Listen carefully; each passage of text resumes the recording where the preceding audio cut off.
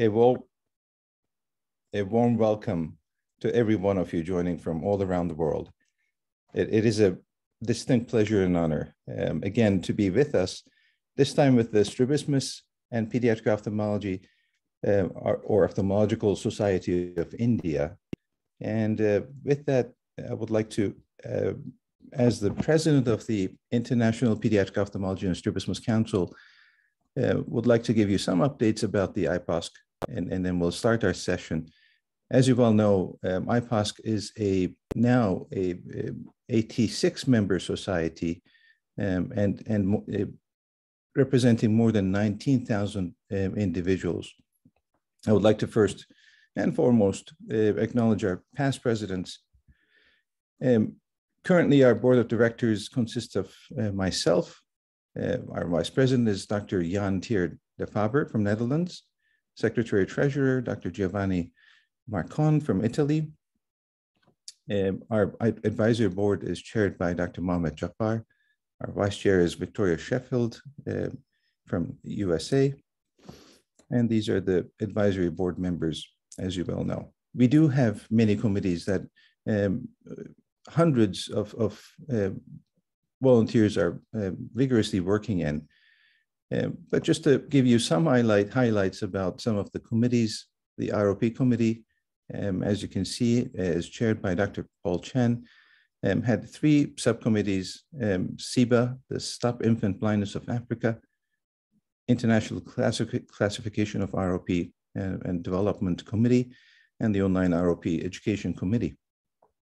Recently, as you may know, and hope you do, uh, because the uh, amazing publications are coming out already, the ROP committee, um, the, the International Classification of ROP, uh, who has been performed by or uh, got together by 34 ophthalmologists from all around the world, 17 countries, six continents, came up with this amazing new classifications. And I uh, really encourage you to read uh, the findings um, of that. Um, also, the Stop Infant Blindness in Africa um, has been fairly active uh, we have uh, founded three centers of focus um, and, and, and as you can see, very busy slide on, on all the activities going on. And we are pleased to now announce that the Knights Templar Foundation had donated $685,000 um, to, to really fund the first phase of our project. And, and now we are fully funded to go forward with the first phase and, and gearing to the second phase obviously the, the one of the busiest committees, which brought us all together, is the Training and Education Committee. And I would like to acknowledge Dr. Jason Yam and Dr. Sonal Farzavandi for all the amazing work that, that they have been doing. And with that, um, I would like to now go into the, today's session. And what a pleasure to, to um, have uh, particularly um, Dr. Singh, the president of the SPOSI, as well as a dear friend, Chris Lloyd, who will be moderating these sessions, and, and I'll hand it over to them.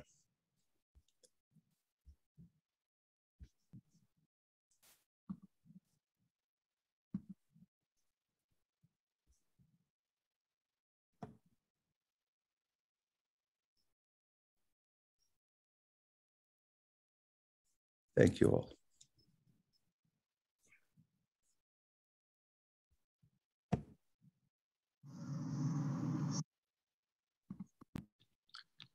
It's a great pleasure to be invited to take part in this uh, symposium. And uh, our first speaker is going to be Siddharth Agrawal, um, an additional professor at King George's Medical University in Lucknow in India. He's going to talk about clinical tips for beginners. Thank you, Siddharth. Namaste. Warm greetings from the King George's Medical University, India, to everyone across the globe. Special thank you to the IPOSC, SPOSI, Professor Frank Martin, Dr. Sonal, and Dr. Jason. I would be discussing some important points for surgeons starting with pediatric cataract surgery. Paying attention to these points preoperatively, during the surgery, and thereafter would make the management of cataract in pediatric patients a pleasant journey. Surgeons starting with pediatric cataract surgery should be well versed with the management of adult cataract and should have repaired a good number of pediatric ocular trauma cases. They should perform their initial 50 surgeries under supervision. Initially, it makes sense to select older children and to avoid comorbid conditions like microphthalmos and colobomas. Regarding the preoperative workup, insist on a recent B scan to rule out the posterior segment involvement and plan intraocular lens implant only in older children who are older than six months and have normal sized eyeballs. Regarding the IOL formulae, the SRK-T and Holladay 2 work well in younger children. Barrett's Universal is the preferred formula for older children. The choice of implant should be hydrophobic acrylic. There should be no shortcuts in preoperative counseling, emphasizing the need for long follow-ups, sensitizing the patients and the parents about amblyopia and refractive correction, and taking a detailed informed consent.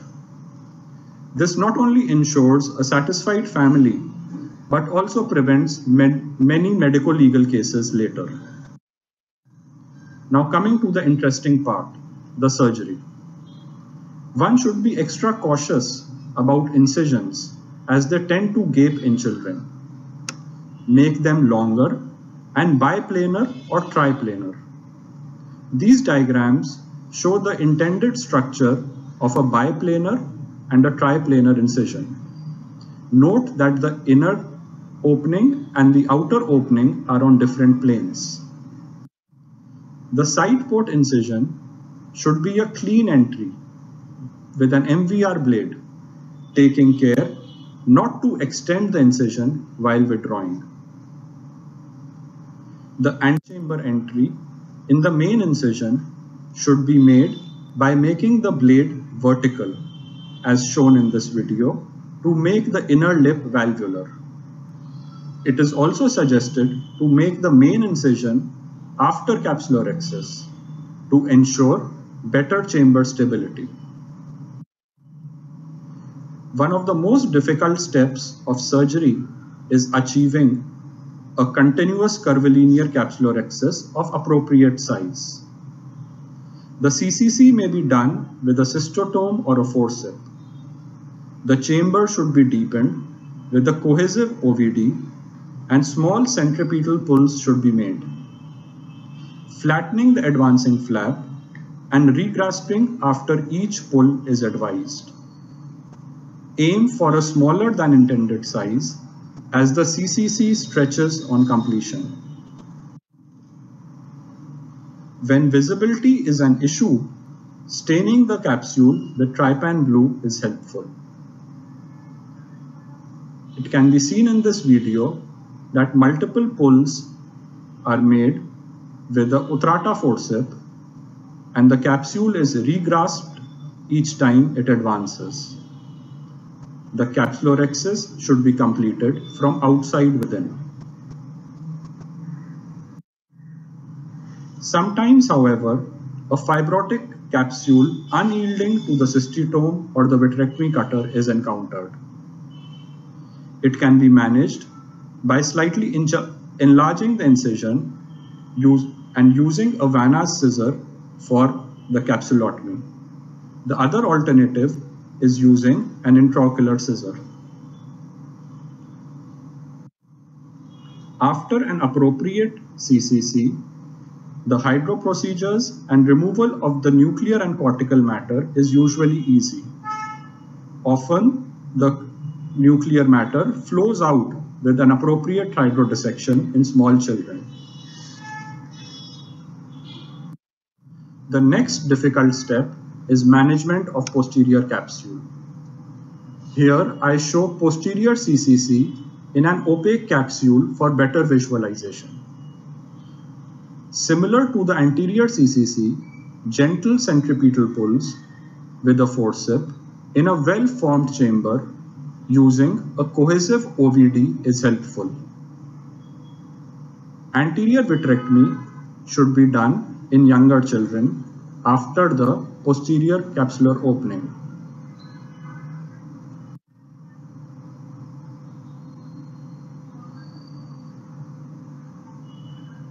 For vitrectomy, I recommend using the anterior approach for beginners. The vitreous may be strained with triamcinolone and liberal anterior vitrectomy should be performed. A few tips about IOL injection. The bag should be well inflated and the leading haptic should go between the capsular rims. And the trailing haptic should open in the anterior chamber or in the sulcus. This is achieved by slightly withdrawing the injector and depressing it as the leading haptic unfolds. The trailing haptic is then positioned into the bag with a Sinskey hook. The beginners should be careful that the lens does not unfold vertically.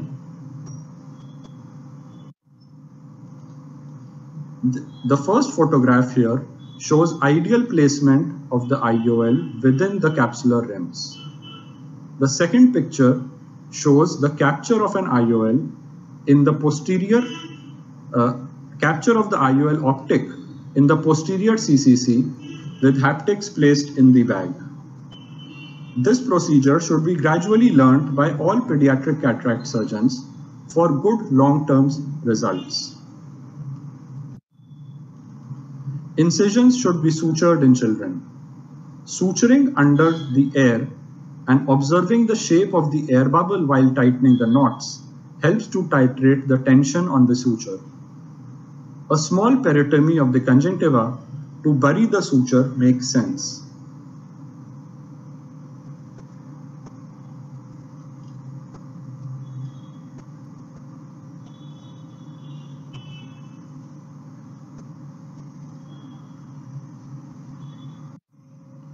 Post-operatively, the eyes should be bandaged and small children should wear mittens to avoid poking into the eye.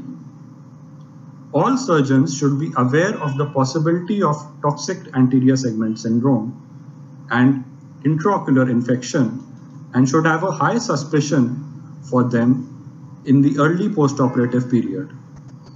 It should be remembered that examination would be difficult in children postoperatively and one should be skilled enough to identify these conditions early, to differentiate between them, and to start timely management. The eye should not be touched unless it is absolutely essential. Minimal manipulation should be done in the post-operative period. And finally, one should be ready for a long journey to manage the changing refractive errors, the visual axis opacification, and amblyopia during the long-term follow-ups. The media for this presentation was from my recent textbook on pediatric cataract published by Springer Singapore. I thank you all for a patient hearing.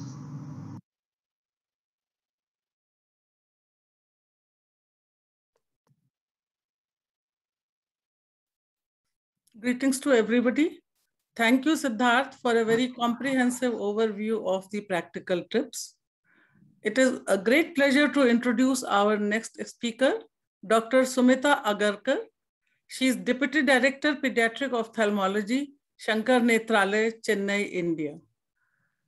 I invite you to give your presentation on management of posterior capsule in children. Dr. Sumita, please. Good evening. I'm Dr. Smita Agarkar. I'm a pediatric ophthalmologist from Shankar Nethralaya, Chennai. I'm going to speak on management of posterior capsule in children. We need to manage posterior capsule few months or few weeks of surgery. Uh, beautifully done cataract surgery can be undone by visual axis opacification or posterior capsular uh, opacification. Literature reports PCO rate to be close to 100% in children and probably is 100% in younger children. Visual axis opacification not only interferes with visual rehabilitation but also can lead to deprivation amblyopia, more so in So posterior capsular management can be done as a part of primary surgery by doing a posterior capsulotomy. It can be done later using a YAG laser or sometimes as a secondary surgery like a membranectomy or capsulotomy under general anesthesia later on. So primary posterior capsulotomy is usually initiated at the end of cortical aspiration. It can be done either before or after IOL implantation. Instrumentation can be usually either a microcapsular forceps or a vitrectomy cutter. Ideal size of a PPC should be a millimeter less than anterior capsulotomy, which should be around 4 to 4.5 millimeter, which ensures a clear visual access.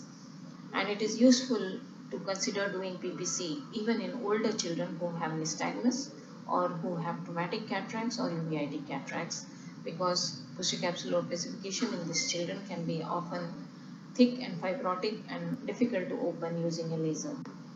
So this is a small video as after the lens aspiration has been done, a small nick is made in the center of the posterior capsule and using the same principles of anterior capsulotomy, directing the forces to forceps towards the center at all times, uh, regrasping the capsular flap, uh, PPC is done.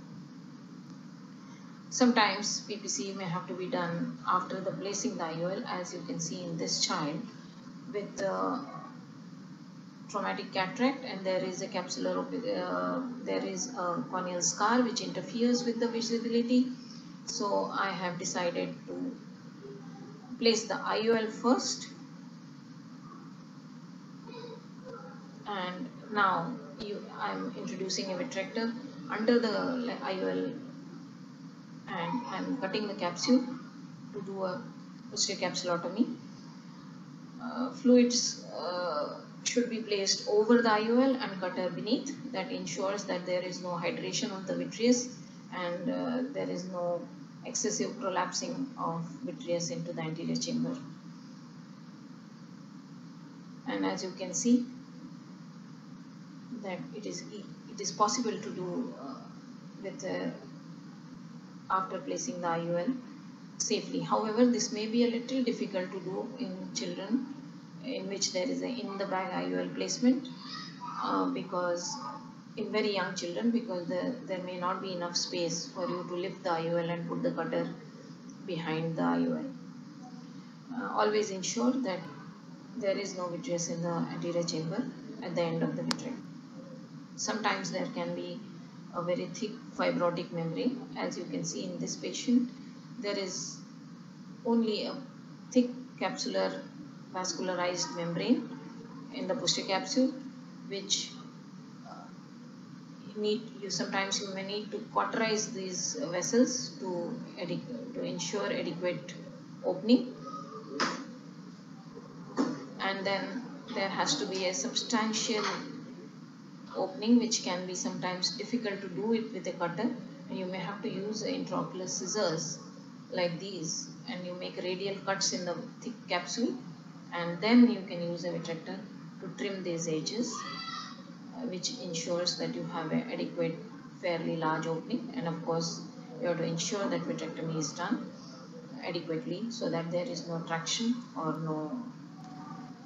Now some pearls regarding posterior capsulotomy. Uh, using a 100% retroillumination if your microscope offers that facility is always a good idea. It helps you to see the flap better against the red fundal glow. Tearing forces should always be directed towards the center. And it is not a good idea to deepen the anterior chamber too much. A good viscoelastic will always help in this. Uh, calcified fibrous posterior capsules have lesser risk of extension and these probably you can use a vitrector more safely uh, to cut a posterior capsular opening and always be prepared for some surprises like uh, pre-existing dehiscence, uh, in children, especially in children with unilateral unilaterals. So as I said earlier, in this I am using only a retroillumination and as you can see that flap is much easier to see uh, against the red fundal glow and you can see it as it is tearing. My force of tearing is always towards the center and you have to grasp and re-grasp the flap several times during the capsulotomy to ensure that the, it, there is no extension. And then of course this has to be combined with vitrectomy. Again, pearls of vitrectomy, they use the highest cut rate which is offered by your machine and probably ensure that vitrectomy is complete. One endpoint of vitrectomy is that as you are going with the fluid is on, there should not be any distortion like here now uh, while doing while withdrawing the probe at the end of the complete vitrectomy. So you should pause in between, keep the fluid on and see as, as I paused here and you can see there is no distortion of my posterior capsule, anterior capsule or iris as I am withdrawing the vitrector. So this probably is your end point of uh, vitrectomy uh, without any complication. As I mentioned earlier, surprises. This I was a little bit prepared because you can see that there is a pre-existing dehiscence uh, with the central dense cataract and there is some tailing of uh, cortical matter behind the lens on a on slit lamp but even if there is a postcapsular dehiscence it is possible to do a safely uh,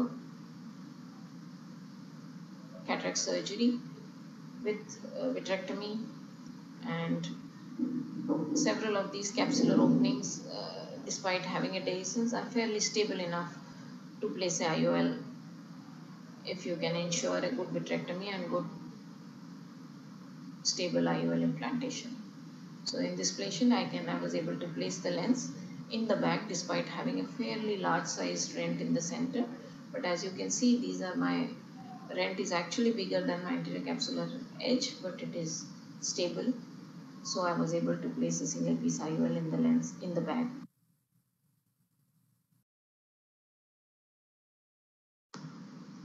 Now vitrectomy is a little bit controversial but it is probably mandatory in children who are younger than 5 years as an intact hyaloid can act like a scaffold for lens epithelial cells to grow and cause visual axis opacification.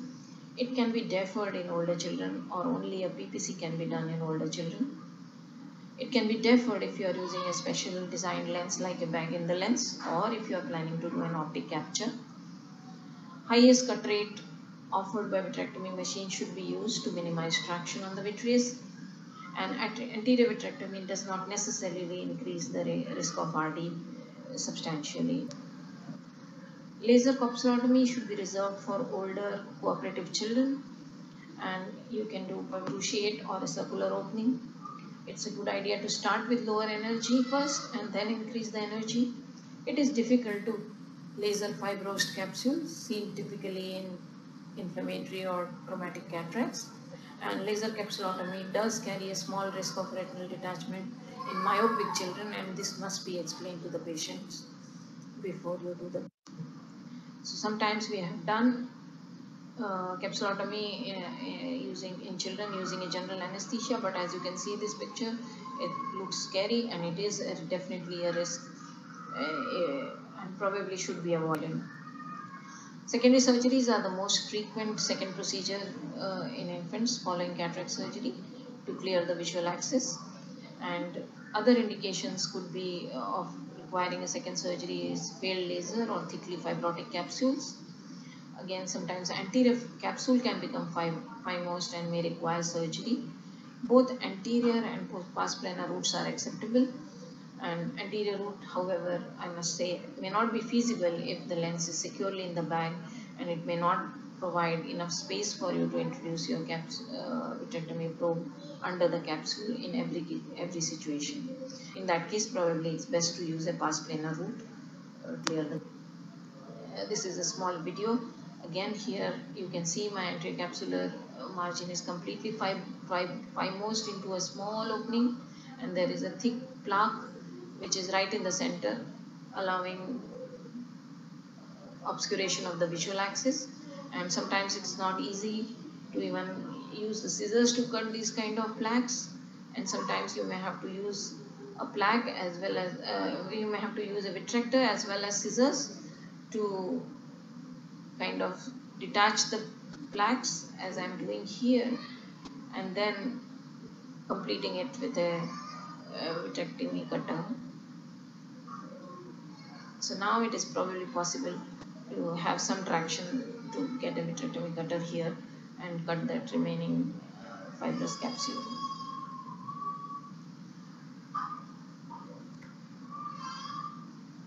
So this is all I have to say about this. for your attention.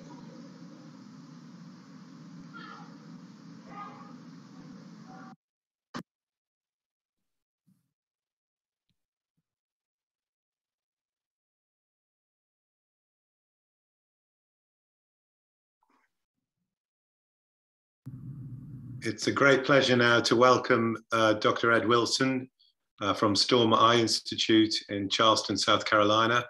Um, I'm sure he's well known to, to most of you. Uh, Ed's going to give us uh, the benefit of his wisdom on secondary intraocular lens placement in children in the bag or in the ciliary sulcus. Thank you, Ed.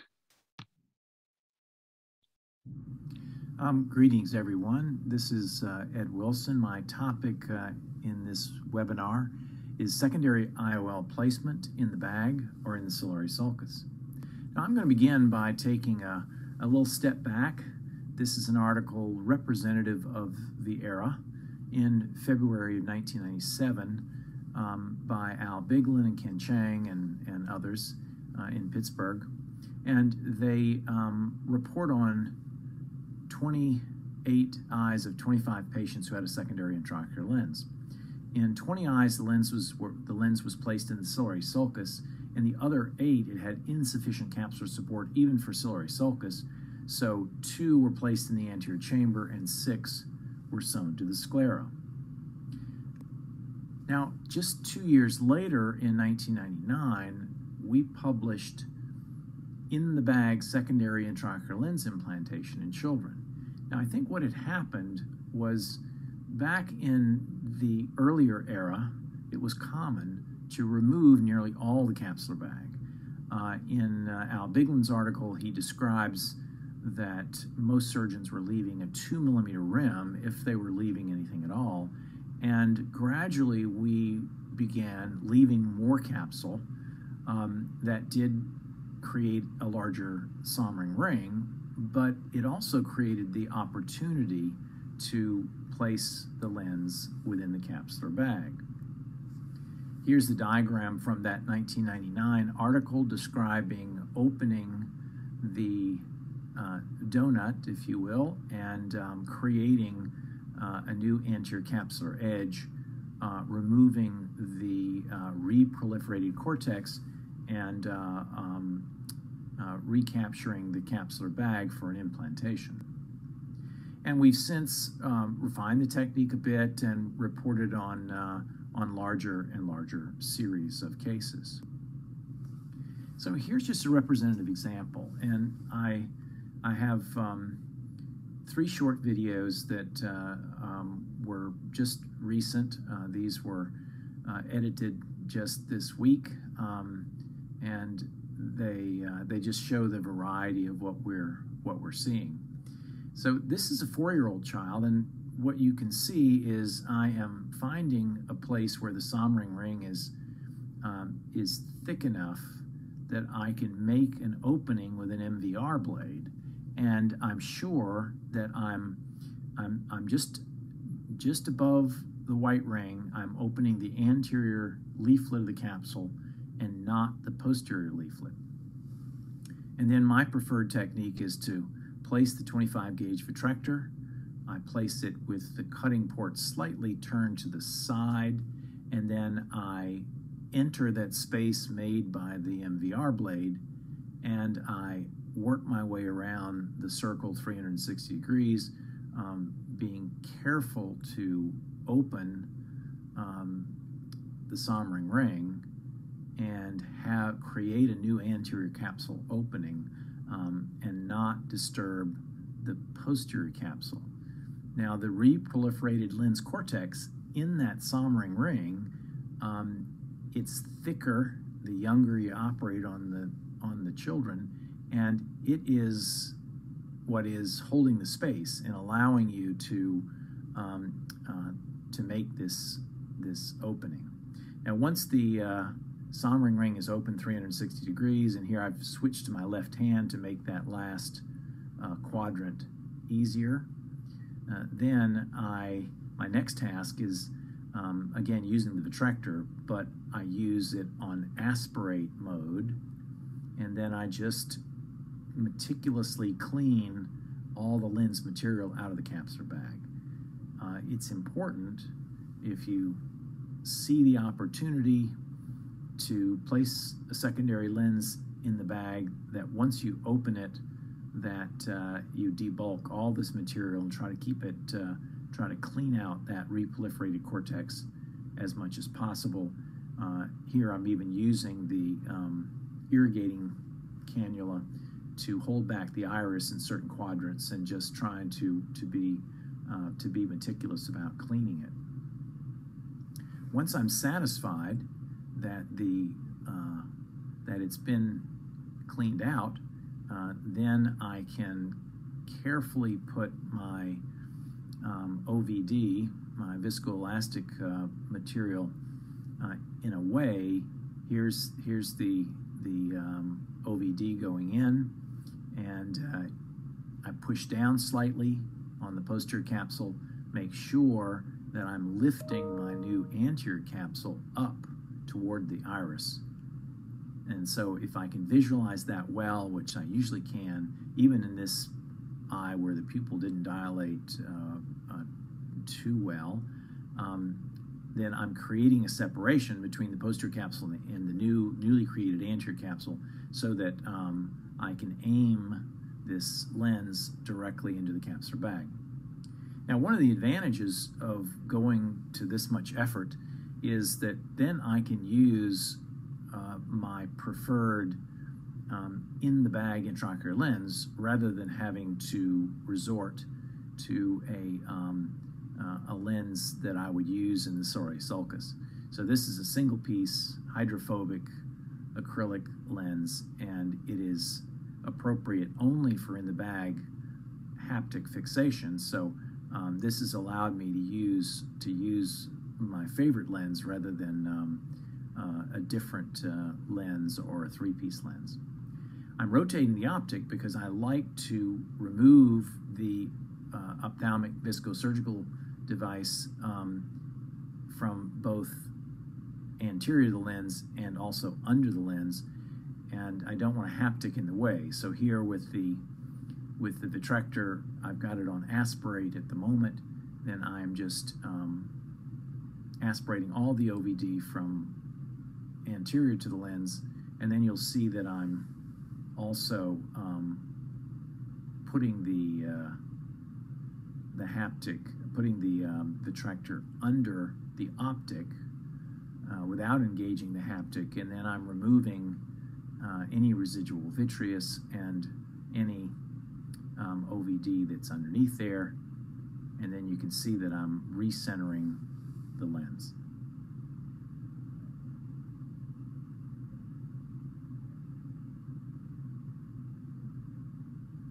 Now I've got another, here's another uh, um, example. This is a 10-year-old girl. Uh, again, her pupil didn't dilate very well on the, um, on the affected side. Um, so here I making sure that there were no synechia. If they were, break the synechia, usually with visco dissection. And I chose to use iris hooks because I wanted to really see um, what I was doing, and it's it's it's invaluable sometimes in these cases. So now I'm I've made my MVR cut. I'm doing my vitrector. Um, you can see that I'm making an opening in the Soemmering ring, and then carefully cleaning it. Um, and not damaging the posterior capsule or my newly created anterior capsule um, leaflet.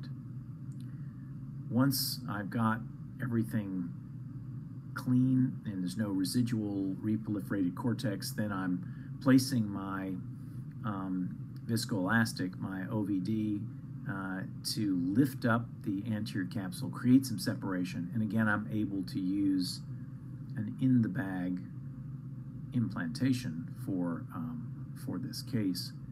Um, just have to be really careful as the lens goes in, make sure it's in the right spot, and and it doesn't um, uh, it doesn't become half in and half out of the bag. So now I'm satisfied. I've rotated the lens just like in the last case, got it all situated, and uh, and then I'll remove the OVD. And last, after I sew the wound, I'll remove the um, the iris hooks.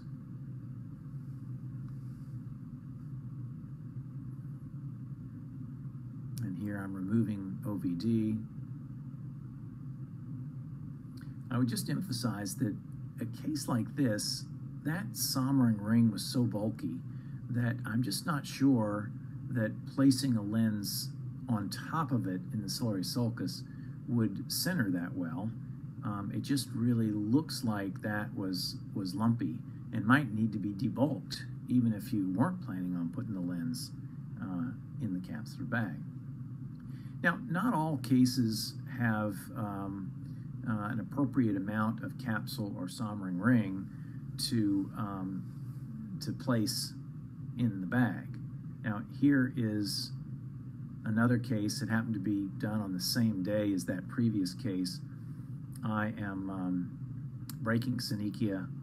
I don't see uh, a huge amount of capsule. I studied this um, child at the slit lamp. Um, I didn't do the original surgery, so I'm not completely sure um, what's there, but now I'm seeing capsule all the way around. Here I'm having to make a judgment call. Is uh, so that's pretty far out there, and it's going to be difficult. Even if I put iris hooks in, it'd be difficult to um, dissect that open. So I'm making a judgment. If that rim is is it sufficient to hold a lens, or do I need to support the lens some other way? The second judgment is um, is it flat enough, not really so lumpy, that the sulcus is an appropriate place? And I, I came to the conclusion that a sulcus fixation was fine. Um, in these cases, I, in the old days, would use a PMMA lens because it was nice and nice and uh, uh, stiff. Uh, since the rim is not all that wide, these days, since I don't have access to um, the single piece PMMA lenses, I use a Rayner. This is a hydrophilic acrylic. It's the only single piece lens that I'll put in the sulcus, but it does work really well uh, in the in the sulcus in these cases. So in conclusion, look for an opportunity to reopen the capsular bag and place the IOL within the capsular leaflets. In the bag placement better assures centration of the intraocular lens and allows the use of IOLs that are designed only for capsular fixation and prepare for the secondary IOL placement when performing the initial lensectomy. And I thank you for, for your attention and I look forward to questions.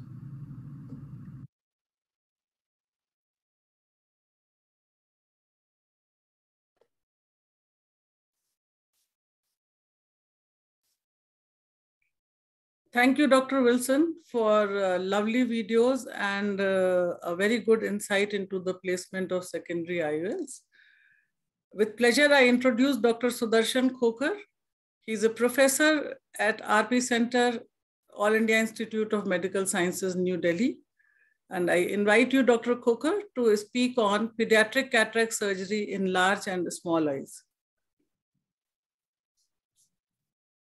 Good morning, good afternoon, and good evening, depending on which part of the world you're sitting in. I'd like to thank the organizers to give me the opportunity to interact with you on these abnormal eyes, smaller eyes or larger eyes. So large eye, when I say it means a buphthalmic eye, which is having a glaucoma, and the glaucoma colleague will refer to you before or after the trabeculectomy. The other subset is a megalocornea or a normal big eye. They are normal but they might have luxation since the bag gets stretched and the zonules break off. The, these lenses might behave something like a spherophakic lenses. A single piece in the bag might not be a good idea in these ones because the bag sometimes is about a 13 to 14 millimeter and the single piece lens is about a 12.5 millimeter across. So the best is to do the capture of a three piece lens or iris claw fixation, which I'll be showing in the videos. The first video. Now you see this is a big, huge eye. It's about a 16 millimeter across. You can see the entire lens. The pupil is well dilated. If you think the rex is looking small, it's a mistake because the optical illusion. The eye is big. The, the size of the rhexis is 5 millimeter. Aspiration of the cortex can easily be done using bimanual. And once that is done, you can do a posterior rhexis. Again, you find the tissue is so lax, a nick from the side and coming with the intravitreal forceps and going all around, you can create a good posterior rhexis. Vitreous is usually fluid in these patients because of the enlargement of the globe. The three-piece lens is being put in, it, lens is put into the sulcus and then it's pushed back behind the posterior capsule so that the anterior posterior capsule fuse and reduce the chances of weir formation. And that's what it looks like at the end. Now that's the second patient in which there's a megalocornea, the eye is big, and there's a plaque on the anterior capsule. This eye is 25 millimeter each size, excellent that is, and white to white is about 12.5. This is a megalocornea eye with the anterior capsular plaque. So how do you go about the surgery in this one? UBM shows uh, swollen up lens and anterior capsular plaque. You make incisions with the stab of the MVR. I always make two 180 degree apart on the fibrotic plaque and using the scissor and the forceps, I cut it all 360 degree. Cortical aspiration can easily be done by using bimanual. You see the anterior capsule is not cut properly, superiorly. So once I'm doing a vitrectomy, at that time I'll just trim it to the desired size. Then I enlarge the section to 3.2 as it's a three-piece lens. The lens goes in the sulcus and it's captured. The trick to capture here is to put one optic under, push the lens to, towards inside and then allow the other one. Otherwise, you might just rip the interior fibrous. The third case in this series of big eyes is a patient in which, if you notice on the UBM, it's a 14 millimeter across diameter wide to wide. The iris is so floppy. It's like a spherophakic iris trying to push anterior and zonules are all stretched. So what do you do in these patients?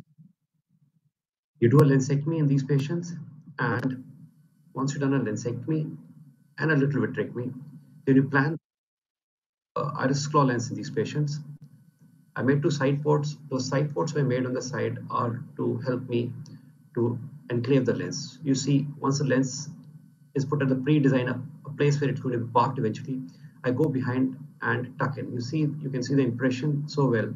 So the trick is to hold the lens firmly in the center, which I'm doing right now. And once you are holding it well, a little nudge superiorly under the iris will give you the impression and you can nudge the lens in and that's how it goes in and goes in very well. Okay, now coming to the smaller eyes, now since these are smaller eyes, we're not putting implant in these eyes, we can do the surgery simultaneously, meaning in the same GA time, you can finish both the eyes.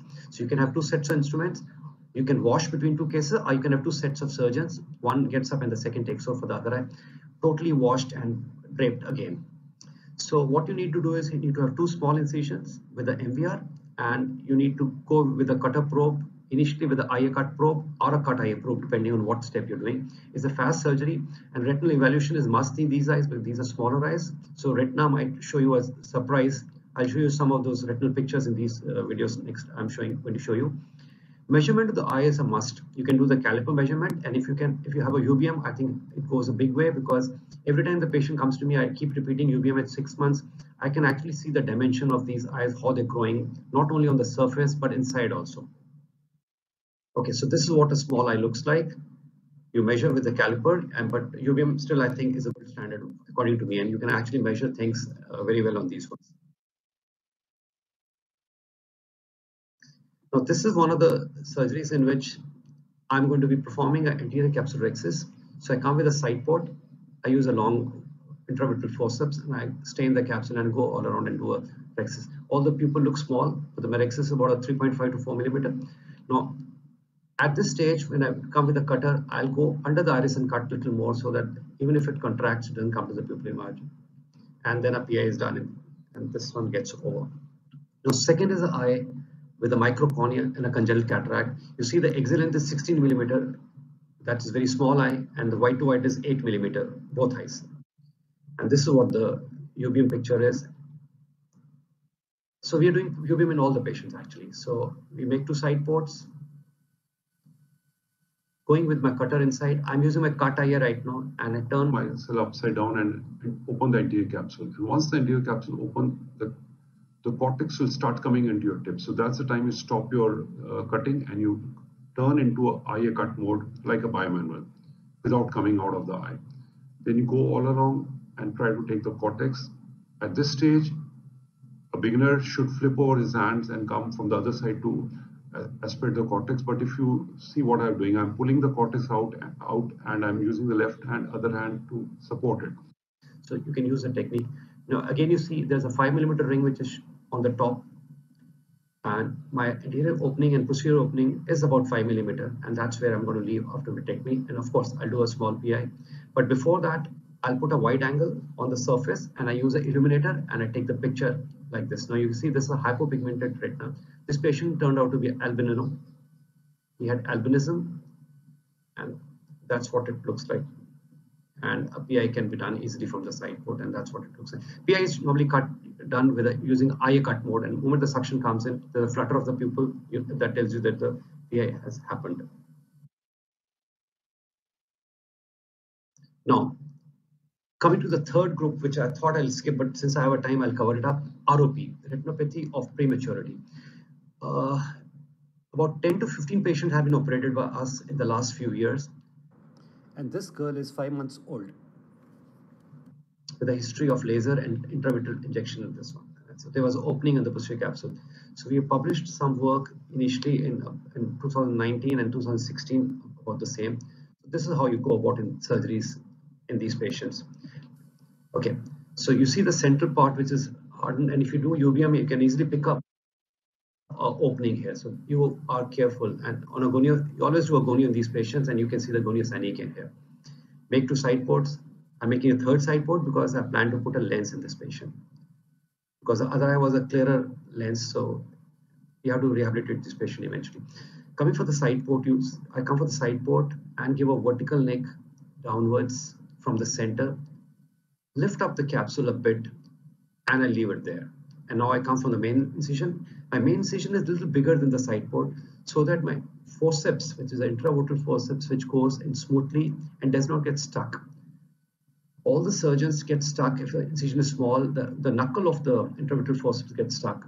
But if your incision is big, which anyway you have to enlarge later on to put the IOL, once you've done a minim, minimal hydration, then you go with the cutter, with the eye cut, you can actually aspirate the cortex and you can see the central opening looking at you.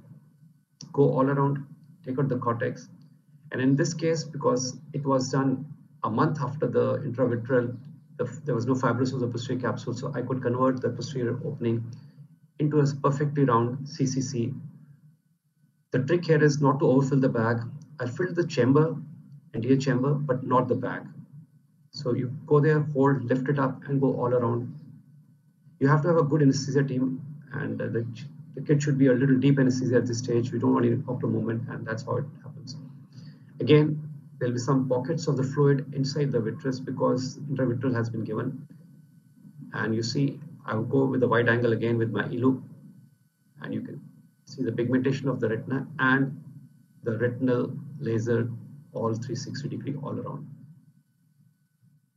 This was a 1.2 incision, it goes to 2.2, and the lens, a single piece goes into the bag and once the lens is in, you aspirate and put a suture. And there's a trick to check the wound. If your bubble is not expanding the chamber, that means the side ports are good. And you're good to go. That's the other eye looks good. Okay, so the challenges we faced in this one, they're small eyes with a low rigidity, the liquefied pockets in the vitreous due to intravitreal injections which are given, and the laser also.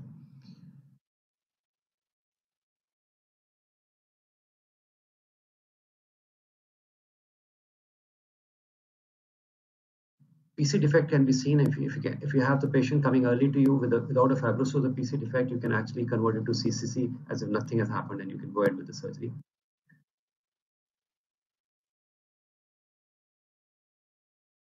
And thank you very much. And for any further information, suggestions, and devices, you can contact me on this email. Thank you very much.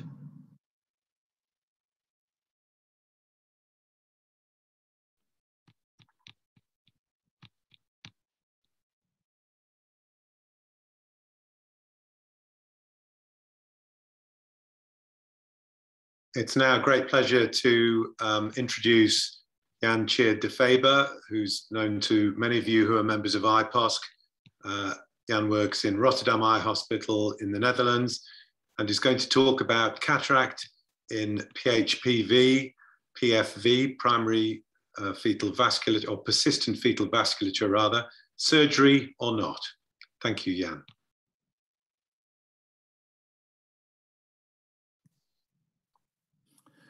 Dear friends, uh, I would like uh, to uh, tell you something about cataract in uh, PHVP, uh, cases uh, to do surgery or not. I have no financial disclosures. Um, these are the top seven indications for pediatric anterior segment surgeries in my career. And uh, as you can see, uh, over more than 2,000 uh, cases, 112 uh, uh, cases were PHPV, uh, in which 85 eyes were operated. Uh, there was an excellent uh, 54th Edward Jackson Memorial Lecture in 1997, where Goldberg first coined the uh, term of persistent fetal vasculature. And uh, uh, an article uh, in that same year came out where this was very nice depicted. Um, the uh, persistent fetal uh, fetal vessels are here shown in in an in a, pathology uh, specimen in which you see uh, in number one, uh, those are the hairpin loops. And at three, you see where the um, hyaloid artery comes from the um, um, optic nerve, uh, which is called Bergmeister papillae. Uh, several specimens uh, uh, are uh, known in the uh, in the uh, literature, and I always explain to the parents that the PFV is actually the umbilical cord of the eye which uh, can, uh, if it doesn't uh, regress normally, can cause cataracts. You see from the uh, from Goldberg a very nice uh, picture where you see a severe case, a moderate case, and a mild case. A mild case sometimes doesn't need to be operated on because it's not visually disturbing. In severe cases, other complications can um, occur uh, one thing, uh, uh, one symptom you uh, can really uh, detect whether it's a PHPV um, case or not is when you see uh, a cataract with an abnormal vasculature in the anterior chamber. These are the so-called hairpin loops, which come from the vitreous, run around the lens and then into the anterior iris into the uh, um, angle, uh, chamber angle. Ultrasounds will really help you because uh, sometimes these are uh, mature cataracts and then uh, you can uh, detect with ultrasound whether there is a PHPV or not. Some cases uh, don't need surgery if there is only very small um, uh, cataract uh, in, in, the two uh, pictures above, which I borrowed from uh, David Taylor's textbook. Um, you see that uh, the patient can actually see around it. And in the lower left um, corner, you see that uh, it's so severely damaged the, the posterior the, the, posterior part of the eye that there is no visual acuity to gain. Um, you can do this surgery with uh, an anterior approach. Make sure that you uh, detect uh, um, or dissect the um, cataract and also uh, all remaining fibrous tissue from the uh, ciliary uh, body, and that you cauterize the the persistent hyaloid artery with uh, endocauterization and remove everything. Because if you don't remove everything, you can get uh, a reclosure of which I have also some examples. Uh, sometimes it's better to go for the uh, pars plana approach, especially if there are large vessels, because once you cut uh, the um, the um, persistent uh, uh, patent uh, hyaloid artery, then Uh, pulsating uh, arterial uh, blood flow blood flow will fill the eye. And if you're not able to do a full vitrectomy and cauterization of that blood vessel, you can't see anything anymore. Complications postoperative are closure of the of the pupil, regrowth of the plaque, bombing iris with with angle closure, glaucoma, uh, retinal detachment, uh, vitreous and uh, anterior chamber bleedings, and endophthalmitis. And then uh, you see here a special case uh, with a pseudo Peters uh, anomaly. The the iris and part of the lens is attached to the um, endothelium. You can Siever that uh, bluntly with viscoelastic uh, material and uh, using iris hooks, you get better exposure of the lens and the posterior plaque. Uh, this is also uh, called uh, here by Goldberg as a Peters anomaly, but I think it's a pseudo Peters anomaly because it has no damage to the Descemet membrane, uh, the uh, cloudy central cornea will clear up in weeks uh, by endothelial cell reshuffling. And if you see a case like that, always look for the hairpin vessels and also ultrasound can have the giveaway of persistent fetal vasculature and uh, no uh, lens capsules are uh, adherent. Here you see a uh, uh, case, uh, which I showed you the videos of, and here you see how you can uh, sever bluntly with viscoelastic uh, material the um, uh, the um, iris and and from the endothelium and then use iris hooks to um, to do the vitrectomy uh, take the lens out and make sure that you clear uh, everything of the uh, of the ciliary body because otherwise you will get a, a, reclosure. And this is um, about 10 years ago when we had different vitrectomes. Nowadays we have 23 gauge and um, 23 gauge and uh, uh, vitrectomes, uh, and um, which makes it a lot easier. And this can be very calcified material. This is then the end result. Um, here again in, in, in, in nicer slides, so make sure that you uh, clear uh, the whole ciliary body. This is the same patient four weeks post-op with an aphakic contact lens in mydriasis. In 85 uh, surgeries, uh, I lost uh, two eyes, um, uh, seven bulbs intact, but are blind um, due to um, foveal hypoplasia in these eyes. the visual acuity can range from light perception to sometimes 0.8 and, and I have one or two eyes which uh, had 2020 uh, uh, vision and in eight eyes uh, I needed to do a second surgery within three months So uh, one of the complications is reclosure of the PHPV. Uh, you see an example of this, which was a, referred uh, reclosure to me. Uh, endophthalmitis uh, occurred in one of my uh, patients and using intraocular um, antibiotics is uh, really necessary in these uh, delicate eyes.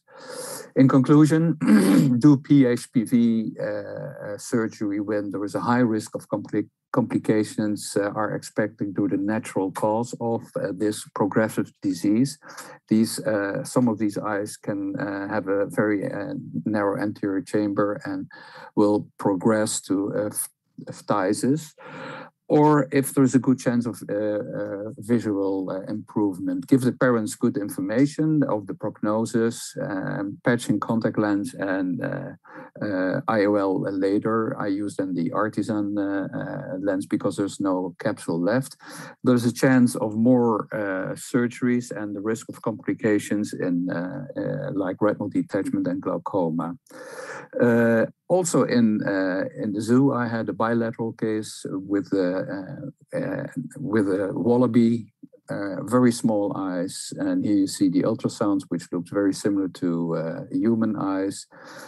Um, to finish, what is the right attitude for a pediatric eye surgeon? Uh, upper left, you see, uh, you have always be very positive and pleasing to uh, to the little patients, uh, but you have to be uh, very uh, scrutinizing for your own data, as you can see in the upper left, and a combination of that will will um, will enable you to pull the pediatric uh, uh, ophthalmology card with success. I thank you for your um, attention.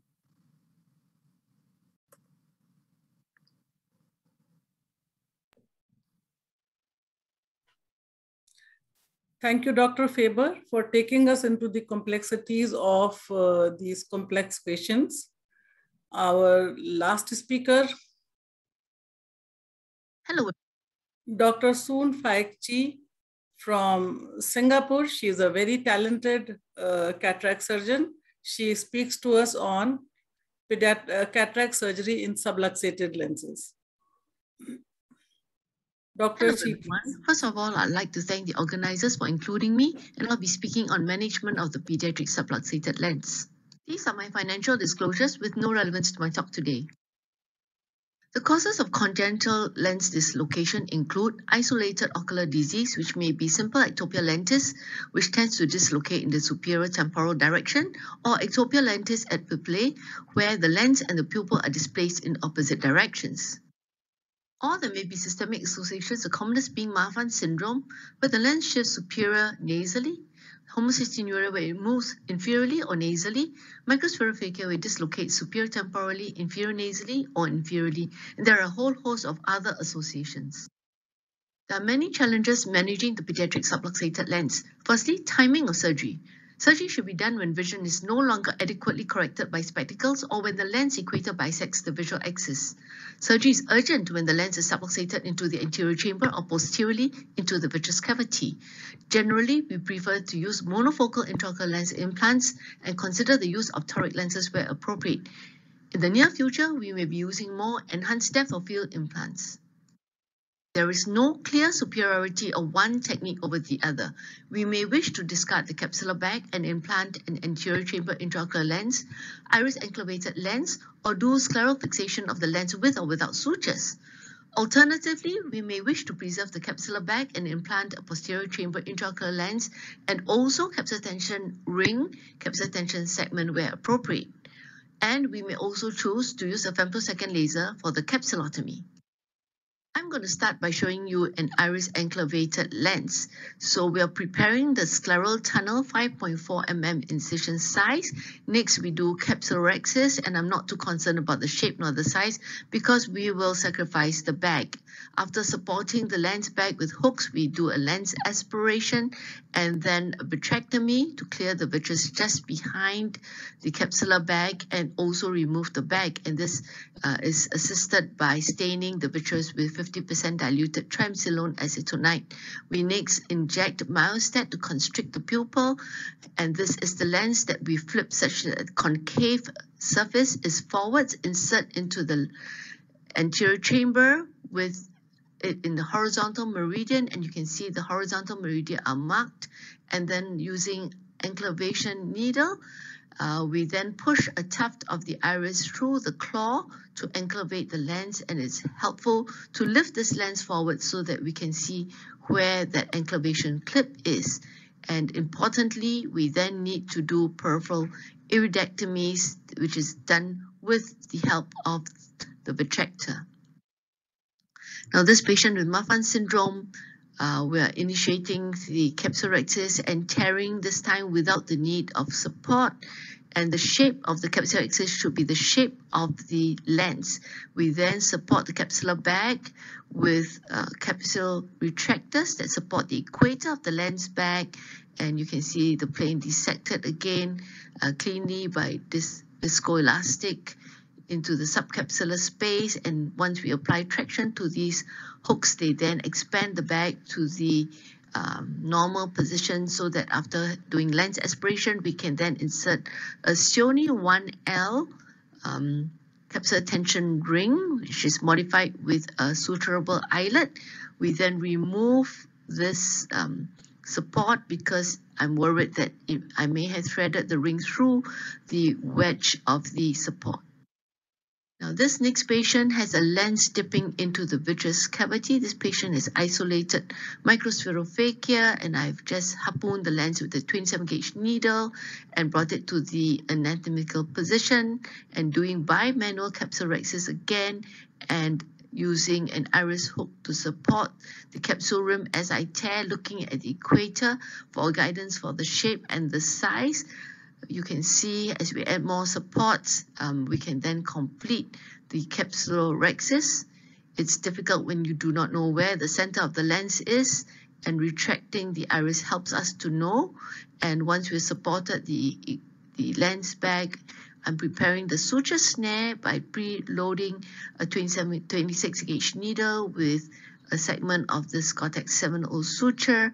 I apply a capsular tension segment, the capsular tension ring in the subcapsular space, another segment support them, aspirate the lens, and then we're going to implant the intraocular lens into this bag and marking 1.75 mm posterior to the limbus is to show you the dissection of the Hoffman pocket half scleral thickness using the suture snare, extend a loop of the suture, as you can see here, out through the main incision, and then uh, bring in a suture through that loop of extended suture to lasso this end of the suture bearing the capsular tension segment so that we can bring it to the scleral fixation point 1.75 mm posterior to the limbus and then retrieving the sutures from the Hoffman pocket, we then apply a 211 knot adjusting the tension to center this intraocular lens.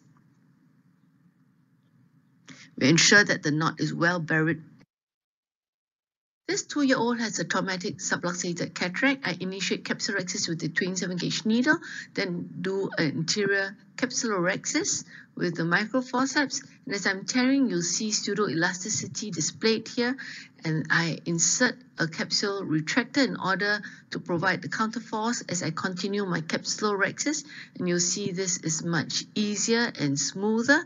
But when I come around where there are no zonules to provide the counterforce, you will see that this is again difficult to perform and I should have used bimanual capsulorhexis here. I was a little lazy and just tore on and you'll see this capsulorhexis tending to run out and at this point I bring on a second microforceps to provide the counterforce and complete the capsulorhexis safely although it was a little larger than intended. I then support the equator of the lens with capsule retractors and do lens aspiration and when I come out of the anterior chamber.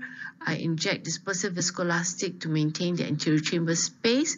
I then create a Hoffman pocket half scleral thickness 1.75 mm posterior to the limbus and then load a capsular tension segment with Gore-Tex 7O, insert it into the capsular bag where the zonules are missing and I create a suture snare using uh, 26 gauge needle loaded with the Gore-Tex suture, extend a loop of the suture and lasso the free end of the suture loaded on the tension segment and bring it to the scleral fixation point. I repeat this uh, step with the other end of the suture and both sutures are then brought to the sclera. I puncture the posterior capsule now with a 27 gauge needle and do a posterior capsule capsulorhexis. You can see the posterior capsule is really elastic and as I pulled the capsular tension flipped out of the capsular bag and I managed to reposition it, put two throws to apply some tension as I insert the intraocular lens into the capsular bag and then finalize my knot with two further throws to center the intraocular lens and then remove viscoelastic. This patient with microspherophakia was done with femtosecond laser-assisted cataract surgery. We are first scanning the capsular bag and then downsizing the capsulotomy to 4 mm.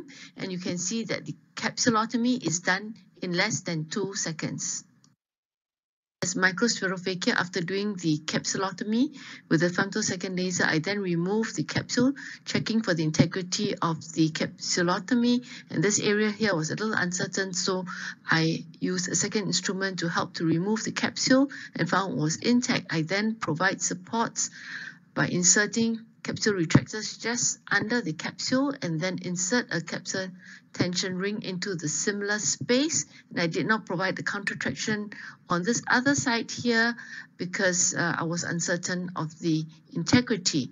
And then the rest of the surgery involves inserting two capsule tension segments and fixation after IOL insertion.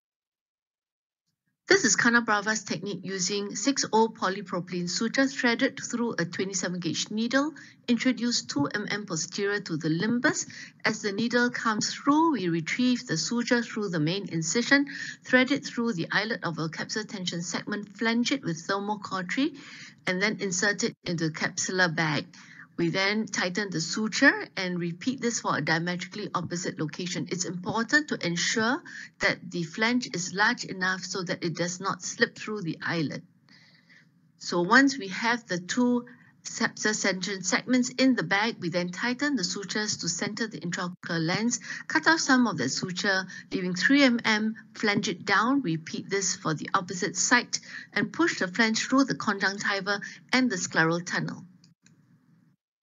This is to show you a patient where the lens is subluxated into the vitreous cavity. We're now marking diametrically opposite uh, positions, 2 mm posterior to the limbus, and then we're going to remove next the lens uh, with vitrectomy through a pars plana approach, do a peripheral iridectomy, and then inject dispersive viscoelastic into the anterior chamber, insert a three-piece intraocular lens into the anterior chamber, and then we're going to use 27 gauge needles that are bent, and we move from 2 mm away from that predestined mark and insert uh, through a scleral tunnel into the eye and thread the one haptic into the bore of this 27 gauge needle. We repeat the same for the diametrically opposite point, ensuring that we are entering the eye at the marked um, position and then again threading this haptic into the bore of the 27 gauge needle.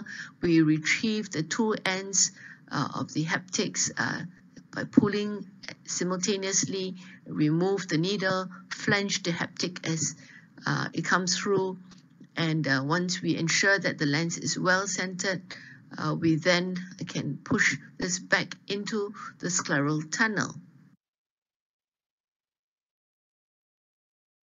In conclusion, the pearls for managing pediatric subluxated lenses include use bimanual capsulorhexis or iris hooks for severe zonulysis to provide countertraction. The shape of the capsulorhexis should follow the lens shape. Use capsule retractors or capsule tension segment for equatorial bag support. Delay placement of the capsule tension ring, but in severe cases, place before lens aspiration.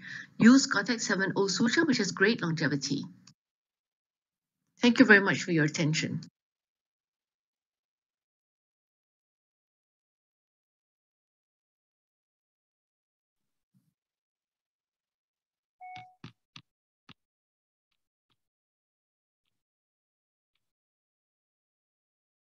Thank you to all our speakers for some fabulous uh, presentations. Vinita, I don't know if you want to add anything to that.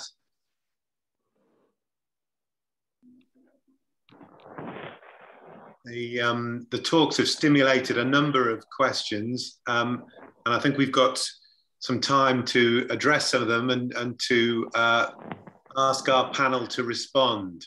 Um, we've got a number of questions to um, Professor Wilson. Um, I'll ask him in the first instance. Um, uh, Jaspreet S has asked, uh, why not perform an optic capture rather than trying to open the bag with all its different secondary intraocular implantation? Uh, yes, I can. I can answer that. I mean, most of the time, the um, the white ring is firm, and it's not usually an appropriate size for a capture. And with all the lumpiness of the um, uh, of some of these Soemmering ring, uh, it, it would be difficult. You'd be capturing through, and then your your um, your haptics would be riding up over this uh, this lumpy Soemmering ring. So I've, I've not I've not done that. I think you, you could debulk you could debulk the uh, the the the ring and then use capture if you choose. Yeah, I'd, I'd certainly agree with that, Ed. And I've done that. I've debulked in some cases, but but like you, I think it's great if you can remove the Soemmering's ring. It gives you so much more space, and you're then not going to be causing iris traction, uh, iris trauma from the haptics. Um, right. Chris, may I um, uh, may I uh, comment on that? Of course. This is Jan de Faber from uh, the Netherlands. Um, uh, um, in, in former days, uh, when we had these stiff PMMA uh, lenses, uh, three P, uh, single piece, we could, they were stiff enough to put on on a bulky um, Soemmering's ring. But when we then got seven, sorry, three-piece um, uh, IOLs, uh, then when that uh, and, and put it in the sulcus, then when the the um, ring would increase, then you get the the optic capture in the pupil. And so that really uh, was helpful, uh, the work of Ed Wilson to debulk the, uh, the, the ring because we don't have anymore the stiff PMMA uh, lenses. So that that really helped me uh, because I learned it the hard way that if you simply put a three three piece PMMA, a, a three piece uh, um, uh, a, a, lens with uh, Prolene haptics into the sulcus. Uh, in some of these children, this optic will be pushed through the pupil. Can I ask a question? Yeah, go ahead. Go ahead. I wanted to ask Dr. Wilson, some of these children, by the time when they have had surgeries very early, say four months, five months of age, when they are older, a lot of time the bag has kind of shrunk and uh, it is not, it looks like a very small bag. So in that case, would he still go and open the bag or would you uh, put it, would you rather prefer to put it in the sulcus? Because sometimes the bag, there is the elongation of the zonules and bag is actually smaller than even though corneal diameter and anterior uh, segment parameters look normal, but I, I think it's, yeah, it's a judgment call. I mean, you do sometimes with a very early lens removal, if the bag stays uh, at infant size or microphthalmic size, then you may not want to chance it. Um, if it's still lumpy, you can debulk it, and then you can put a lens in the sulcus. So I, I think it's a case by case sort of thing. I wanted to also add if if you're we showed cases of where there's lots of cortical material keeping that capsular equator open. If there's much less of it, I do sometimes make a little nick in the anterior capsule and then take the viscoelastic cannula and you can open it up. You can make the viscoelastic track 360 degrees and bulk up your, your ring, give you more space to work.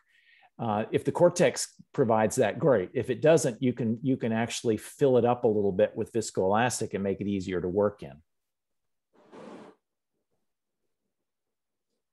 sometimes capsules, both the anterior capsules stick together and they become like one fibrous membrane. Yeah, then you uh, put then you put the lens in the sulcus. Excellent videos. Thank you. We've got uh, a number. Ed, can I ask Ed, Ed a question, please? Sure. Well, I was going to alternate to keep uh, different speakers uh, busy, if that's okay, and we can come back to Ed. Sure. Um, there are a number of questions for Dr. Chee, um, with some, you know, very impressive, uh, technically very adept videos. I would, I would, would be my comment on that. Um, one of them from, again, from Jasprit. Dr. Chee, what is your take on anterior iris claw lens in Marfan's, as there is not much endothelial loss. I might disagree with that point, but in posterior iris claw, if it disenclaves, it can fall back into the retina. Secondly, Marfan's is a progressive disease with continuous scleral thinning. Would you prefer scleral fixated or iris claw in them? So Dr. Chee, I wonder if you'd like to respond to that. Thank you for your question. Um, generally, my preference is not to use iris claw lenses. Uh, firstly, we have to open up the incision to 5.4 mm, use the scleral approach for these lenses. I've also seen the claws disengage and it's not quite that easy to retrieve the lens from a, a tilted lens from through the pupil to re-enclavate, although it is possible. And there's a trick to doing that, that is by using a microforceps to grasp the intact claw through the iris and then levitate that. But it's not the simplest thing to do. And we're putting them in children, and I have seen, you know, this these disenclavate in adults. So I would be really quite concerned about putting it in children and definitely not in the anterior chamber because I think the endothelial cell loss is higher when it's placed uh, closer to the endothelium. Um, with regard to fixing to uh, the sclera, generally, if we can preserve the capsular bag, I would preserve the capsular bag so that everything, the, the lens is placed in the anatomical position and that um, we use the um, Cionni uh, rings or the capsular tension segments to suture to the sclera. And of course, I favor the use of Hoffman pockets because we preserve the conjunctiva for these children who may develop glaucoma over the long term. And also they may have retinal detachments as well. And so generally, I do not um, fix with a Yamane fixation unless I have no choice because a Yamane fixation is only used in the absence of capsular support. So generally, I favor preserving the capsular bag in patients with dislocated lenses no matter how severe. If I can preserve the bag, I rather use the capsular bag to contain the lens within the capsular bag and then fix that to the sclera. Especially in Marfan syndrome, the sclera can be very, very thin and um, the scleral rigidity is poor. And even with Gore-Tex sutures, I've had some, you know, of the uh, fluid leak out of the eye through these Gore-Tex tracks. So I think Marfan syndrome, it's um, they, they can be quite difficult to handle and we need to be extremely careful. Sometimes I've had to put glue within the Hoffman pocket just to ensure that these eyes are well sealed so that they don't have any post-operative hypotony. My, um, I would just like to follow that on as chair, but I'm um, old enough to have been around a long time and um, my concern with these very impressive techniques is the long-term complications.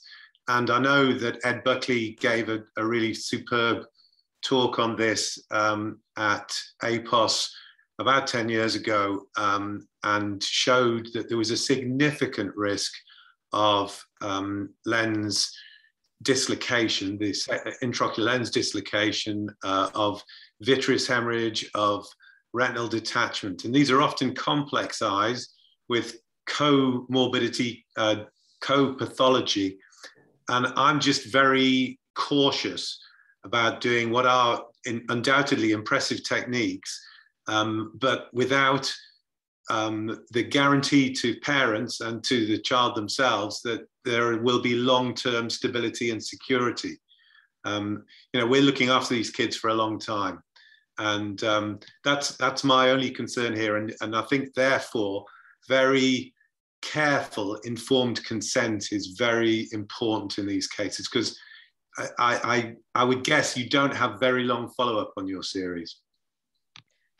Oh, Gore-Tex sutures, actually, I think it was started long time ago in the US for at least 10 years. And Gore-Tex has excellent longevity. It's a 7-0 suture. So it really handles um, very well. It's like a rope. It's really very, very thick. And this has been used for cardiovascular work in pediatric uh, patients and also in orthopedic work. So this actually has an excellent track record. Not in the eye, it doesn't. Um, in the eye, it's about 10 years. Uh, when Robert Cionni started to use this, it's 10 years. Mm. But it's um, off-label use in the US. Yeah, I think uh, I'm just, I'm deliberately playing devil's advocate here, but I just think you need to be very careful with your consent um, because it, it's, it doesn't, you know, orthopedic use and vascular use is very different to the eye. And the eye in a young child who is likely to be jumping on trampolines and uh, you know, playing rough games is uh, is a very it's a very vulnerable organ. And also, we know that the nylon sutures that we used before all degrade with time. The, the body attacks them, and they break down. I don't know if anybody else wants to comment on that. I'm, I'm dominating things. Yes. Well, uh, Chris, I, I think uh, uh, I have to uh, agree that um, uh, that we don't know how long uh, these uh, these children have to uh, to live for another 80 years. What will happen in in in, in 80 years? Uh, and so I think you have a have a point there. I have an, another comment on the uh, artisan uh, iris claw lens.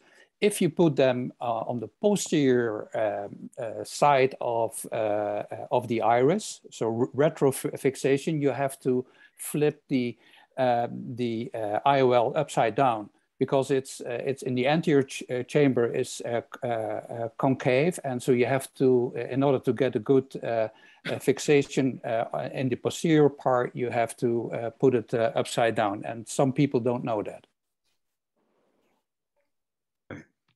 Um, Vinita, I don't know if you've got any comments to make so far.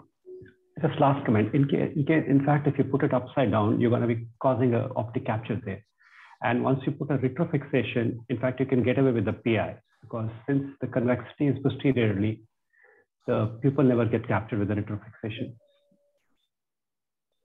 I agree. Thank you. Yeah. Can I uh, raise a question to the panelists uh, and the experts here? And uh, my uh, concern has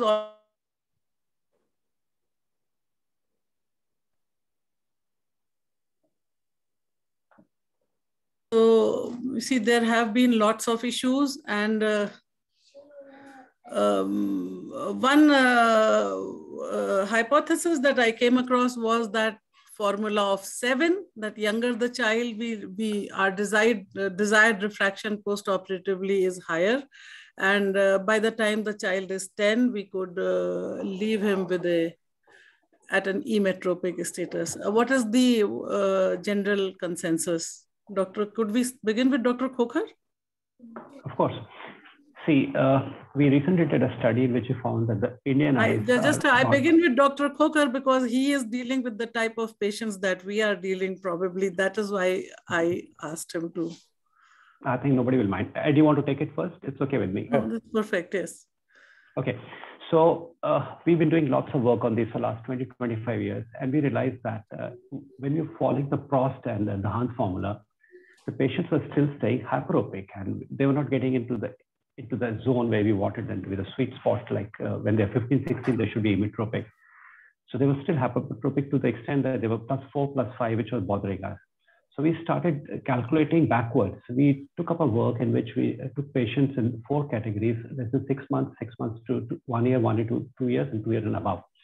So we followed each of this group for six months to see what was the uh, change in the exit and how refractive error, the status was changing, and how was the emmetropization was taking place. And we were surprised that the Indian eyes were smaller eyes and they were not growing as, as much as the Western eyes. So what we realized was that we came up with a formula in which for five years old we do 2% undercorrection. For two years, we do 5%, whereas the older formulas were about 10% for two years. So between one to two years, 10% is absolutely fine. And when you come less than one year, divided into again two groups, six months and above and six months and less. Six months and above, we still got everything right. We, we are getting around plus minus two diopters, which is pretty good for these eyes. Whereas less than that, that is about 15% we do between six months to 10 years, uh, to one year, six, six months to one year. But less than that, it has to be very high. And we put less than that only if it's a unilateral patient and we are sure that the patient is not going to use contact lenses. Otherwise, we put them on contact lenses and once they're about one year and a half and the eyes grown, we uh, put the lenses. So the formula is that to undercorrect all these patients, but how much will depend on each eye. And when to put the lens is the second thing which people are always bothered about. The thing is, it's not the age of the patient, it's the size of the eye and the health of the eye. If the eye size is anything more than 9.5, 10 millimeter across white to white, I'll put an implant in these ones because that works best in, in our setup because patients don't use contact lenses. Second, if the axial length is less than, say, about less than 17, 17.5, uh, then again, the, we are putting in implants because the lens are not available for that. If it's 16 and below, the lens will be about a 44, 45. We don't have those powers available. So those are the patients which we love to leave them uh, and when they grow up, if they grow up and the eyes grows up, then we can put them in that. Um, can I, I, sorry, sorry, Ed, you go ahead. Go ahead. Um, well, I, I, the first thing I would say is that not all three years, not all three-year-olds are alike. Not all five-year-olds are alike. So, using an age and as the as the only determinant uh, seems flawed. I mean, it's it's a guess, but um, so we we created a formula. At least it works for two age two and above, based on real data. It's a multiple regression formula that will predict in an individual eye what the axial length will be at any age. So we usually say let's let's use the formula to predict the axial length in this age at, at this child at age 20 and then you can decide what you want at age 20 you want emmetropy at age 20 minus 1 minus 2 at age 20 um, and at least for eyes 2 and above it works pretty well and the most important things are whether the eye is small or large for that age so you, you plug in the exact age yes. you plug in you plug in the current axial length and some other parameters and it will predict we're now creating an app for it but it it's a it, it was in the American Journal of Ophthalmology AJO in 2019, but it's a good way to at least give you a prediction so you know in that eye um, whether where it's going to go. Yeah, but it, you can never be sure still because you'll still have outliers. I mean, sure, it will work. Yes. Sure, yeah. but it's better than just the using the age. True, true. That's true. Agree. Fully agree with you.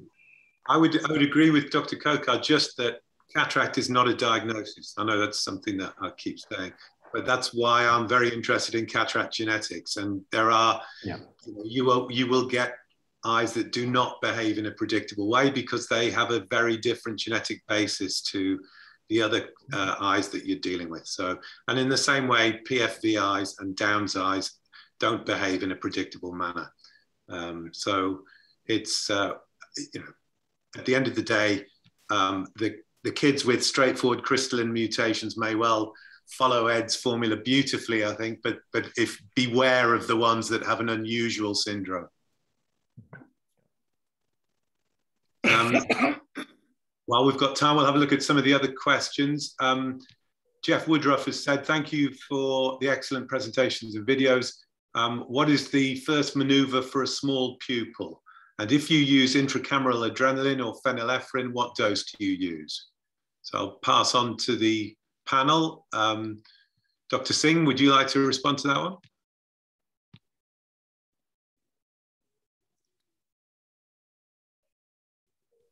The uh, for a small pupil or the pupil which is diminishing in uh, in size per operatively, the uh, first maneuver, I think, uh, would be to use uh, adrenaline, diluted adrenaline, 1%. And if that works, fine, we can go ahead. Otherwise, we prefer to use the iris hooks. Dr. Chee, how would you respond to that?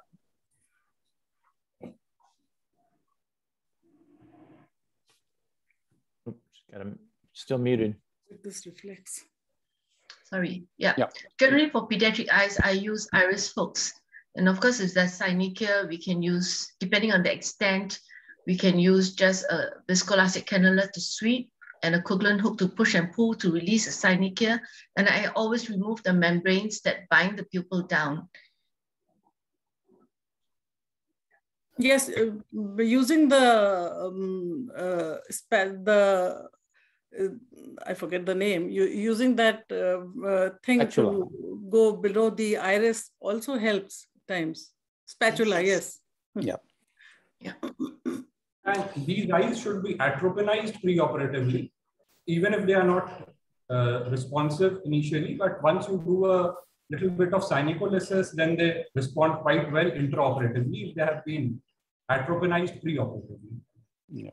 There has uh, been a recent publication of using a combination of both uh, uh, a mydriatic as well as uh, uh, anesthetic which is commercially available and uh, that can be given intracamerally and uh, at least the paper which is coming from PGI Chandigarh uh, claims very good dilatation uh, in the dilatation throughout the surgery without any need for drops. So my I don't have any personal experience, but uh, Dr. Jaspreet, who was there, have, has written and they have claimed good results and sustained dilatation through the through the surgery. Yeah, I mean, in the U.S., we call that Shugarcaine. It's um, uh, the doctor who did it maybe 20 years ago was Dr. Shugar, S-H, not S-U-G-E-R. Um, Shugarcaine uh, is used by all of our adult colleagues in my institute. But if the pupil is has an abnormal fibrotic um, uh, musculature, it's not going to respond. It, mm-hmm. It's beautiful for a no drop technique in a normal pupil you can put it in and instantaneously get a big pupil. And they they do that. That's that's our routine in adults at our at our place. In fact uh, if you're uh, putting the iris hooks in these sorry if you're putting iris hooks in these patients you got to be careful because the cul-de-sac is too small. So you the upper and lower lid might be hitting. So you have to position yeah. them so well like uh, the ed, ed, showed in one of the videos five five uh, iris hooks report. So you have to have an orientation which is correct. So you don't touch the lid marks. Otherwise uh, it's not going to work well in, in Rotterdam, we use um, epinephrine, 2.5%, uh, uh, and four drops diluted in one millimeter uh, BSS. And uh, most of these uh, pediatric pupils will respond on the needle mm-hmm. or on the cannula. And, and I also concur with uh, uh, with my colleagues that uh, if you use iris hooks, be careful because a, a, a neonate um, iris can respond with uh, with a fibrotic reaction because you are uh, uh, well actually my message is only use them when you really need them. Yeah. Yeah i'd agree with that. Anybody putting in um, the Malyugin ring I haven't. In I haven't. In you know, in older in older kids, the smaller version and the Malyugin two is a little bit easier to use than the than the first iteration, but they're not very good for kids. I mean, the, you know, maybe a teenager sort of like an adult, but they're not very good for young kids. Too traumatic. Too bulky. Yeah, too bulky. Any any experiences with the small sphincterotomies in desperate cases? Sometimes they work, sometimes they close back up. I mean, in a really desperate situation, sometimes you just have to trim the iris with the vitrector because it's all fibrotic and the little the little cuts are not enough. I hate to do that, but sometimes it works really well. I, I didn't want to say that, but since Ed has mentioned it, there's lots of patients with they come with a stuck down pupil, which is about one 1.5 millimeters. So whatever you do, you're going to cause the damage. So what you need to do is, as Ed mentioned, you go with a vitrectomy probe with a high cut rate just close to the margin and just go all around. The thing is, they're stuck up downwards. So once you go a millimeter away from the lip, from the from the synechia, it actually opens up beautifully well and gives you about a three millimeter Yes, but the sphincter is gone there. True. I hate to do that, as I also said so, but yeah, in some patients you have to do it. I mean, especially the microphthalmic smaller eyes, in which you just, just can't do much in those ones. I think we've got, I'm not sure how much longer we've got, um, but um, I think it was an hour and a half originally. Perhaps, have we got another five minutes? Please. Yeah, if that's okay, we'll, we'll probably do one more topic and then we'll probably have to sign out, I think. Um, here's a good one. Um, how do you manage myopic progression in pseudophakic eyes in kids? And this is a good one to feed into Dr. Wilson while we've got him, I think. Ed, how would you respond to that? I mean, how do I deal with a myopic progression? I mean, yeah. I, you know, I, I, I point out to people that when when you remove the lens uh, in a child's eye, you remove the offset uh, to axial growth, so you're going to get a myopic shift, and um, and and so you know we we manage it by um, leaving the eye hyperopic initially if we can. Uh, if the child won't wear glasses, I'll leave them emmetropic. I'm doing a lot more um, IOL exchanges these days when they get to be almost full grown, and we're all learning how to do those because we we created that that high myopia. Um, I, I don't know what what else do you think they they meant by that question. Well, I know that um, you know it feeds into the um, the growing area of managing myopic progression in kids anyway. But but I wondered whether you wanted to talk a bit about the use of piggyback lenses and so on. Um, yes, I mean I think that's one one option. Um, the reason I don't do piggybacks as often as I used to is because I'm I'm a bit more comfortable now with IOL exchanges. I think that initially we thought that once you put a lens in the bag, it was going to be so difficult to get that lens out of the bag that when a child would not wear glasses or contact, we would pick the uh, in the bag permanent lens, thinking that we would leave it alone forever, and then put a, a smaller power piggyback in the sulcus on top of the bag because that was an easy place to remove the lens once uh, once it had enough growth. And that's a safe approach. I just don't do it as often as as i used to i just put a higher power implant and plan on exchanging it later but i think it's you know if people choose that you you often are putting a you know a 22 in the bag and an 8 in the sulcus or something like that and and removing it later uh, i would like to add that once the child reaches adolescence it makes sense to put in a piggyback lens at that time. We have a right. lens, uh, the, the trade name I would not like to say, but it's a lens which can be placed in the sulcus and it's specifically made for pseudophakic people who have a residual refractive error or a myopia, which can be well corrected by placing the implant in the sulcus. Yeah, I think I think the um, the those lenses that, I know what you mean, and and they're they're not available in the U.S. Um, the, the, ones I'm thinking of made in made in London, uh, made in England, and um, that's a good option. Even an ICL might be a good option. I just I've seen some articles on it. I just don't have any experience with it, but you certainly can put some myopic correction on top of the implant, or you can do LASIK if it's a small amount. Most of these high myopes are beyond the the, the LASIK capability. Just remember to do iridectomy when we are putting in a IOL in the sulcus. So I've had some experience uh, with Sulcoflex lenses from Rayner. Right, right. And also the add-on yeah, lens. Those are the ones. Yeah, from human optics. But this is mainly in adults. And I think uh, what usually bothers me is the presence of a Soemmering ring. Because as you mentioned in your talk, it can be kind of lumpy. So if you do a UBM before the surgery, uh, you need to be prepared to take out the Soemmering's ring. Otherwise, the Sulcoflex will not sit properly because they also have got a toric correction in these lenses. So sometimes if you want to place it in a particular position, although you leave it there in surgery at the end when you see the patient post-operatively, because of the presence of the Soemmering ring, uh, which is not in the area where the haptic is, it's in between the haptics and the capsular bag the, the lens will tend to slide back to a particular position. And I've had to suture uh, even a sulcoflex that Rayner makes to the iris to prevent it from rotating.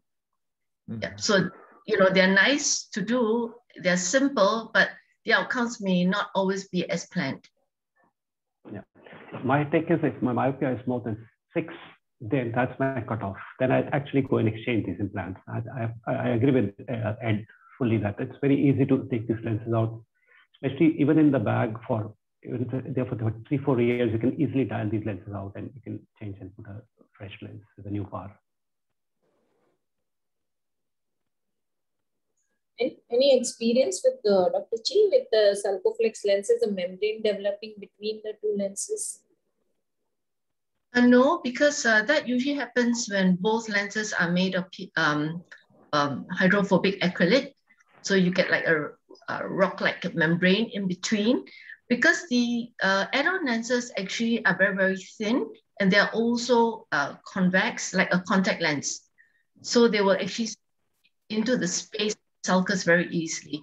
Whereas when we are talking about the interlenticular membrane, you're talking about biconvex lenses that will be inherent in the center. Yeah, so these don't develop membranes between the lenses.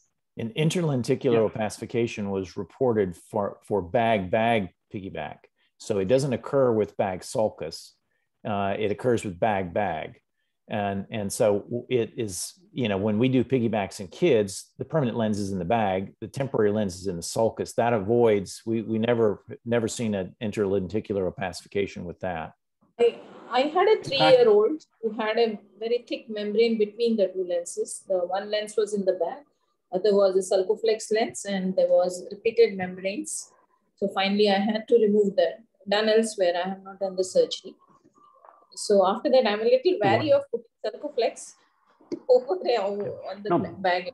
No, but uh, Sumita, when you're putting a sulcoflex, you're putting a convex lens over a, uh, con convex and a convex. They both are, uh, you know, they're fitting into each other. What was the red rock syndrome basically was uh, described by John Stewick from Australia, red rock syndrome. He had two convex surfaces hitting each other and it used to go like a moss on the rock, lower rock and upper rock. So they were both convex surfaces facing each other. That is what he classically described with the membrane going over. But with this uh, silicon lens in the front and uh, a different material at the back, uh, it's not that common. But if you had it, uh, you should look into the inflammation. If the patient had small pupil, or do touch the pupil. Yeah, he was a year old and uh, had repeated yeah. bouts. Yeah. Other factors, yeah, true. After removing the sulcoflex, now he is plus 10 and I have. so you exchange this lens with a. Yeah, I mean, it might have been an inflammatory membrane and not not really a, yeah. a true interlenticular membrane. No, it was not. It was, a, it was a fibrotic membrane. And he had already had two membranectomies before he came to me. And there was okay. again fully opacified membrane in between the two lenses. Child's vision so anyway, this, yeah. refractive so your patient, your patient is plus 10. It's not minus it's not a myopic, so it's a plus 10. So I think oh, it's best not, not to do a uh, double lenses for plus lenses. First, yeah. Yeah. yeah, he had okay. surgery first, then there was a DBR surprise, then right. there was a less placed, and uh, yeah. Mm -hmm. I think um, at this point, I think I'm um, getting messages that um, we've run 20 minutes over. It's been a brilliant session, and I'd like to thank everybody that's contributed. It's been really fascinating. And thank you for giving us your time and your expertise. Um, so um, I'll call a halt to the webinar if that's okay. Um, uh, thank you, Dr. Lloyd. Uh, I will go to introduce our next webinar. So uh, let me share the screen now. Uh, so uh, I, I think all of us will enjoy this webinar and agree that today's webinar is, is excellent and we all learn a lot. And in our coming IPOS joint webinar, uh, we will join with KPOS, the Chinese Association for Pediatric Ophthalmology and Strabismus.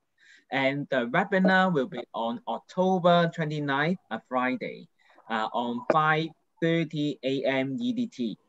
And uh, this time we have the moderator of uh, from, uh, Galton Vasconcelos from Brazil and uh, Chen Zhao from China.